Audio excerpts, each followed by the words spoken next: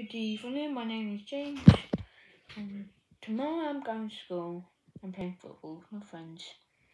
And if you want to play pro football, you have to go to Portsmouth in Portsgrove and then see me how good I am in goal.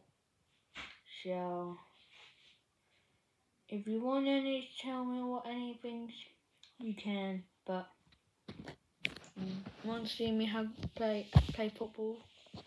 Look at me. I'm very good. Love you. Goodbye.